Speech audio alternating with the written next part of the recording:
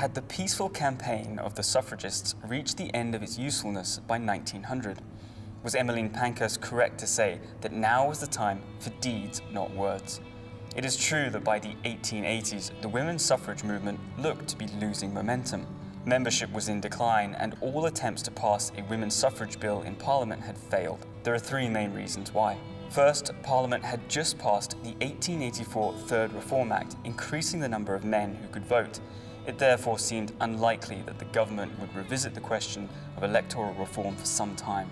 Second, women were being drawn away from single issue suffrage societies into party organisations such as the Conservative Primrose League and the Women's Liberal Federation. By the early 1890s, the Primrose League had around half a million women members.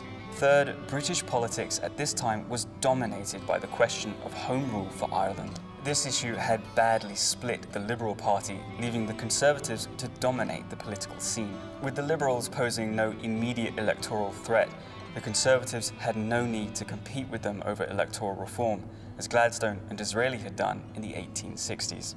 However, despite this challenging political environment, progress was being made. In Parliament, more and more MPs were becoming sympathetic to the idea of some form of women's suffrage, to the extent that three women's suffrage bills in 1897, 1904, and 1908 achieved majorities. They failed to become law not for want of votes, but due to the lack of parliamentary time, a stalling tactic used by the government.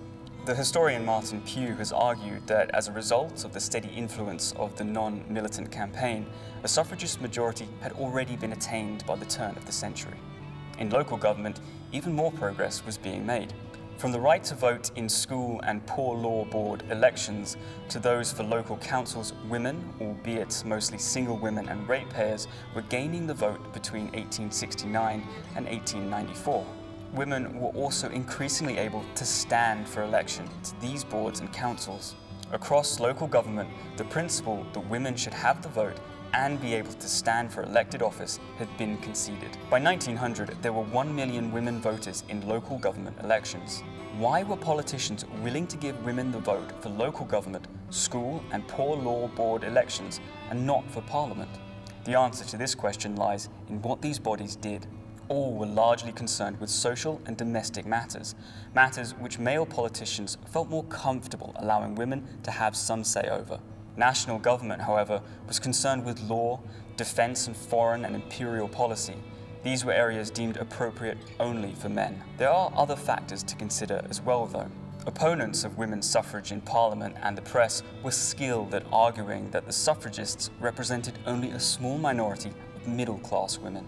They pointed to the fact that large women's organisations, like the Mothers Union, did not support women's suffrage. The women's suffrage movement also still faced considerable misogyny from men across party and class lines. This opposition occasionally manifested itself in violence, such as that endured by the peaceful suffragists taking part in the 1913 suffrage pilgrimage. The women's suffrage campaign also faced the tactical difficulty of reconciling the reality that reform was likely to be incremental, as it had been with men, with the need to appeal to women of all classes. This meant, in practice, encouraging working class women to support a campaign for middle class women to get the vote, in the hope that further reform would follow later.